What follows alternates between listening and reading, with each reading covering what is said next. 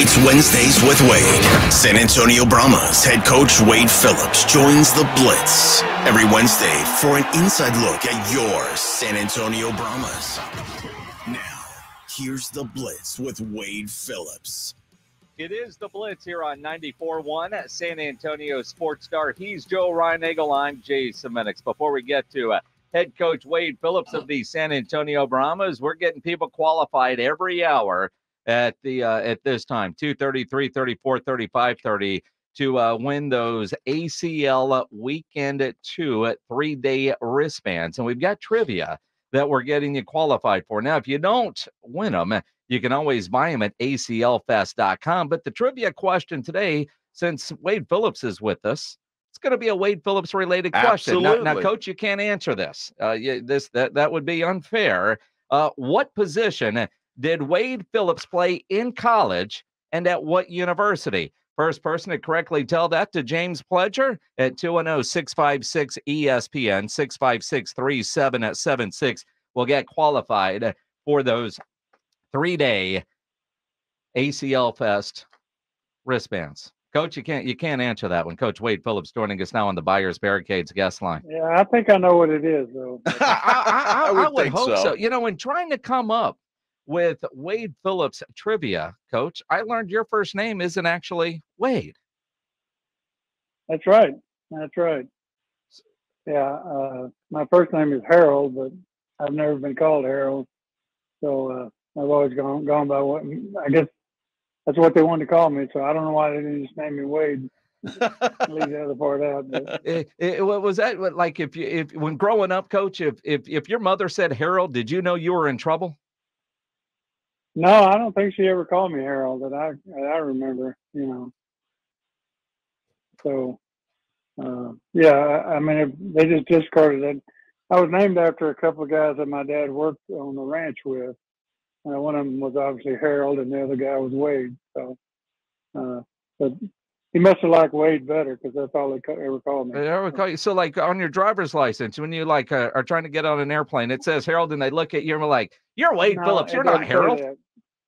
Yeah, I don't put it on my driver's license or or basically any of my stuff except um, I guess Social Security or something like that. But, but you know, on Harold, my driver's license it says Wade Phillips. Harold just doesn't have the same ring to it, Coach. I'm glad you stuck with Wade. that, that just sounds much better. Wade Phillips. Wade Phillips. Okay. Yeah. Yeah. Good to me. Yeah. See, if you lose a game, you're Harold. Uh, yeah. but, but, winners are named Wade, man. W's in the name. There and man, go. did you get a hell of a W uh, this past weekend down in Houston.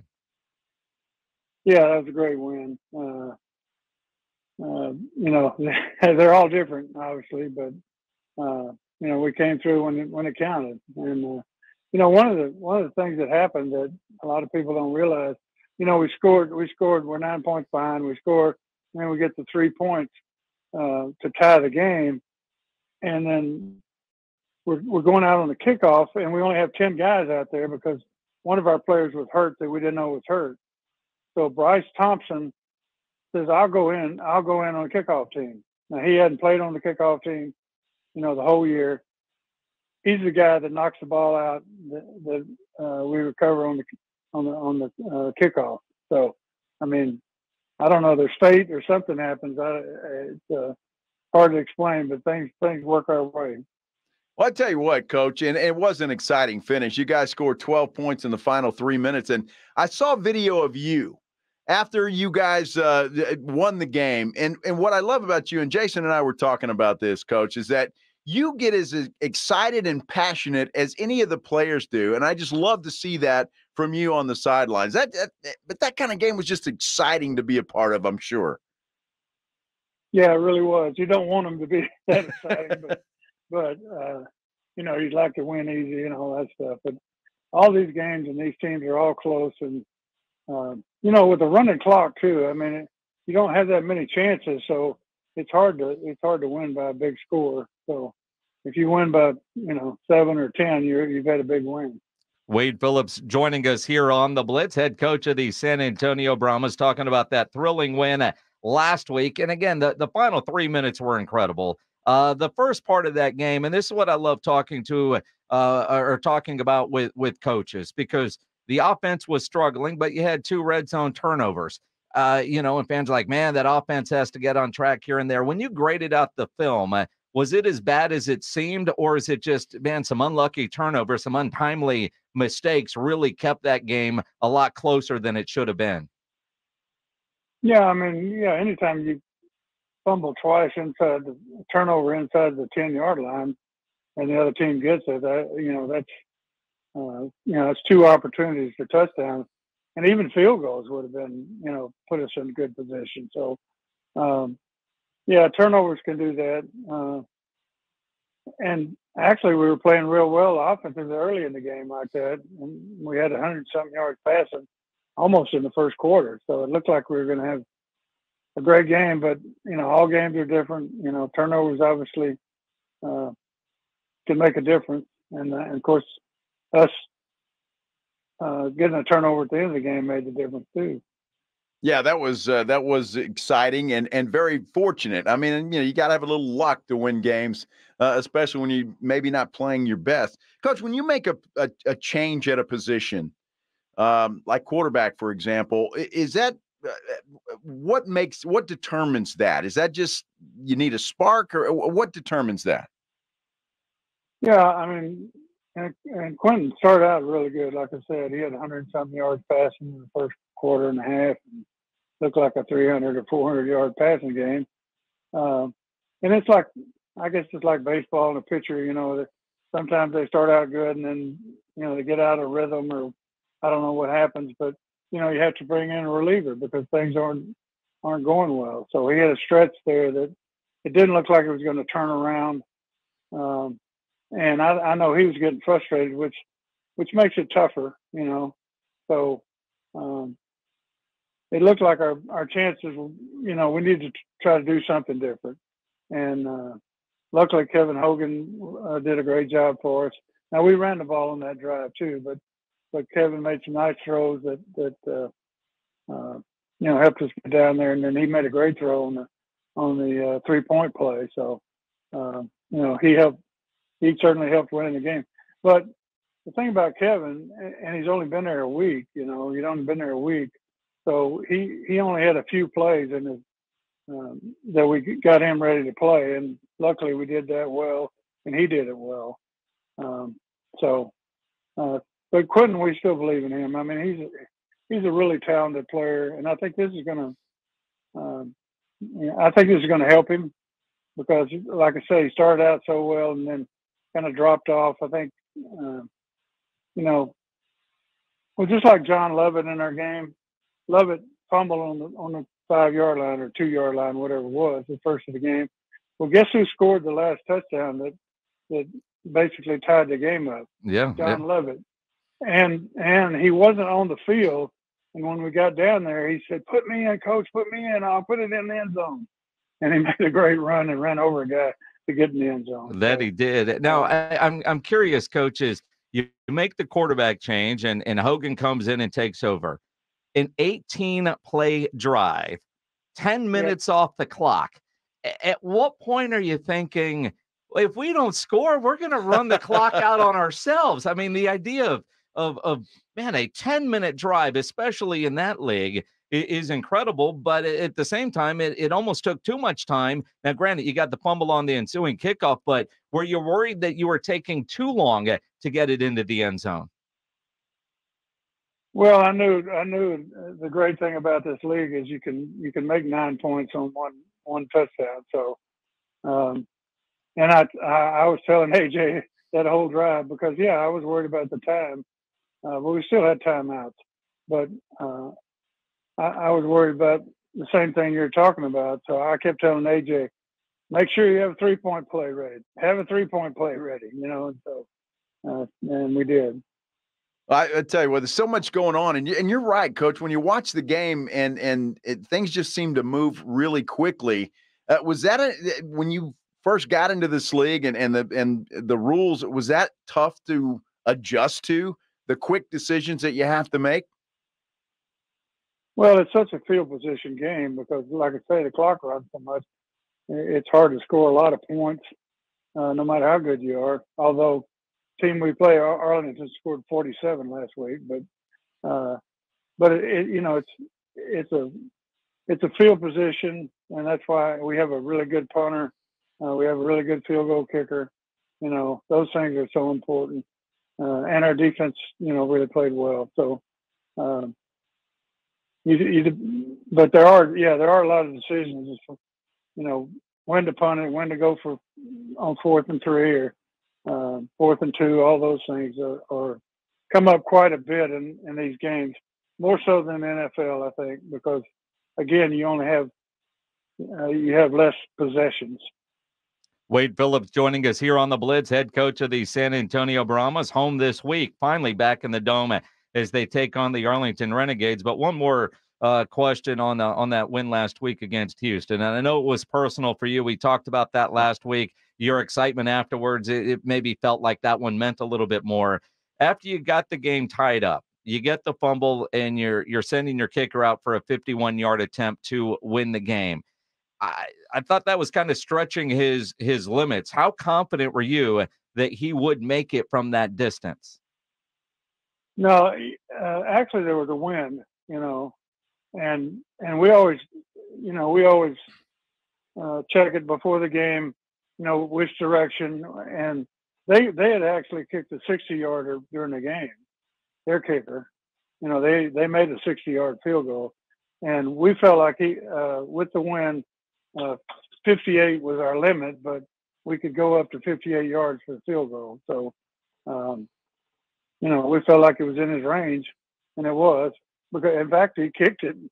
I mean, if if you go to the replay, I mean, it was w- way up on the goalpost. I mean, he could have. I think he could have made it from 60. I know he could have made it from 58. So, um, no, we just we go by, you know, the uh, pregame and the win and so forth. As long as it doesn't change during the game, uh, as to where we're comfortable and and where where we have confidence in the kicker, and uh, he really came through for us too, though. You know, coach, you guys are back home and you're playing well. Obviously, five and two record and um, in front of the home folks. But I tell you what, you guys uh, is a battle for your conference uh, championship, if you will. And and uh, besides Birmingham, who has is yet to lose, I mean, you guys are right there in the upper echelon when it comes to this league. And uh, do you think about that from game to game? I mean, do you do you look at the standings and say, hey, we're we're pretty good? Oh yeah, I mean we're we're tied for first place with St. Louis. Uh, St. Louis beat us uh, the one game, the tiebreaker, but we get to play them again. Uh, so um, yeah, we look at where we are, and you know, the first the first thing we have different goals. I mean, we have certain goals. One of them, obviously, first goal is to make the playoff. Second goal is to, to win your conference, and then uh, obviously the third goal is to win in the playoffs. And, and win it all. So uh, all of those things are there for us. And you know, with three games left, which uh, you know they couldn't say that last year. So I, I, you know, we have a really good team. I hope everybody come out and support us. Uh, well, and and, and again.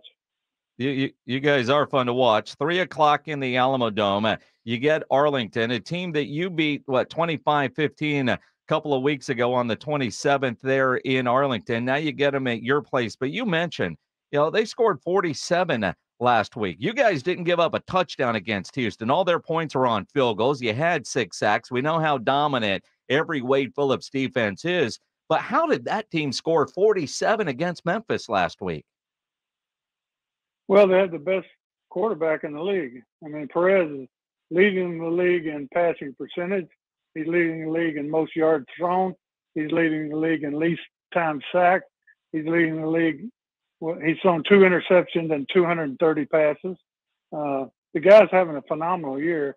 Now their team isn't, but um, but you you can see what they did last week. I mean, uh, they're capable because he's playing great, and it's it's going to be a big challenge uh, for us to stop them. You know, coach, when you look at that and you see a team like Arlington and what they did last week, um, do you have to throw out what happened in the last game and just say, "Hey, this is a new team; they're playing differently, and and game plan maybe a little differently for this team"? No, it's still matchups. I think, uh, you know, we we look at obviously we looked at the last game we played, and we know they're going to change some things that they didn't do well against us, and we're going to change some things that they did well against us, and uh, offensively and defensively and special teams. So, um, you know, it's just a it's a new chess game. You know, uh, you've already played uh, Kasparov one time, and uh, you got to try to beat him again. All right. So uh, the the million dollar question, Coach, who's going to start at quarterback Sunday for the Brahmas? Well, Quinten Dormady is their quarterback, so he'll he'll he'll start and play, and hopefully have a great game, which I think he will. Uh, I really believe it. Uh, he's he's he's determined to do really well, and you know motivations uh, a key to a lot of things. And like I said, with Lovett, uh, you know, he was motivated. He fumbled. He's going to he's going to score that touchdown. And I, I think Quinten has the same kind of attitude. You know, he's motivated that well. He, you know, he had a bad stretch, and he's going to he's going to come back and, and overcome that. Coach, the guys like uh, like Dormady, do they they understand why you did what you did? Well, sure, yeah, yeah. And I talked to him about it, and he knew he knew things weren't going well. I mean, things just uh, for some reason, for whatever reason, uh, you know, things didn't go well in the passing game. Um, you know, I think he hit like one out of eleven in, in that stretch, and and and so, you know, we we needed to change just just for him, for his sake, so he wouldn't get overly frustrated. Three weeks in a row on the road, back home in the Alamodome this Sunday, three o'clock against the Arlington Renegades. TV will be on Fox. Now, Coach, uh, looking at scenarios, if you guys win and you, I think you need somebody to lose and you actually clinch a playoff spot, is that correct? Yeah, DC loses and we win, uh, we're in in the playoffs. That's awesome. DC's playing DC's playing St. Louis. In Good. fact, they play the game before us, so we'll we'll kind of know. So, but if DC wins, St. Louis loses, uh, and we win, we're we're in first place by a game, with two games left. So, you know, either way, I think you know.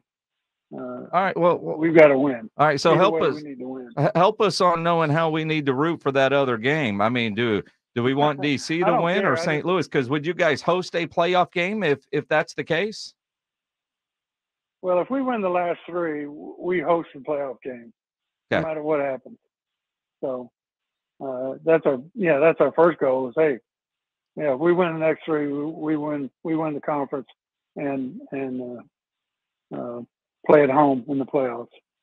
There Good reason go. to pack the dome. Pack the dome. TheUFL.com to get your tickets. TheUFL.com. Sunday, 3 o'clock in at the Alamodome It's going to be a great time. Coach, we'll see you down there on Sunday. Always appreciate you joining us here on the Blitz for Wednesdays with Wade. Yeah, you got it. The Blitz is great. I'm all for it. Appreciate you. Wade Phillips, head coach of the San Antonio Brahmas on the Buyers Barricades guest line, where they provide traffic control, rental, and sales for San Antonio and beyond online at buyersbarricades.com.